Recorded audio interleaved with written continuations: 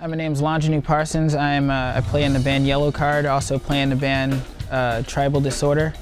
Uh, I've been playing for 27 years. Um, i do a lot of session work as well as you know a lot of stage work as well. Um, i play everything, various styles of music, from jazz, fusion, funk, uh, rock, metal, blues, hip hop, all of it anything that can get thrown my way, a lot of Latin too. I think it's very important to be educated behind the, you know, behind your instrument and in music gen in general because you can understand a little bit of the history of, you know, and how to pick at the material that's thrown in front of you.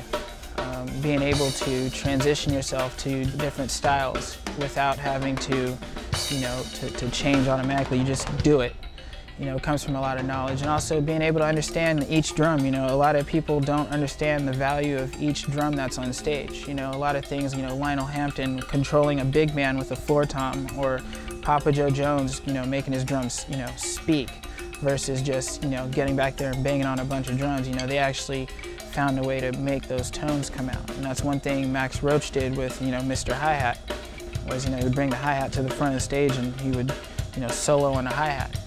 And you know, if you learn a little bit behind it, you see a lot of people, they have a lot of stuff, but they don't use it, you know, the way it should be used, you know, which is, you know, making it speak. That's why everything is up there. So if you understand a little bit about it and you go back and research, you know, what other people have done and are doing, um, you know, it can bring that out a lot.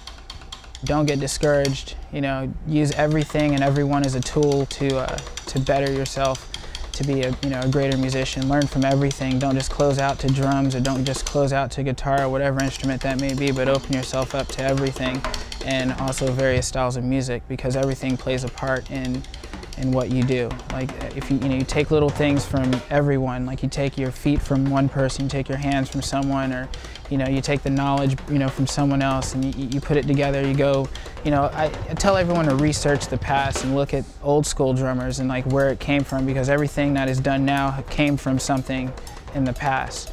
And you should always research it because it just betters you as a musician to understand a little bit of the history behind your instrument.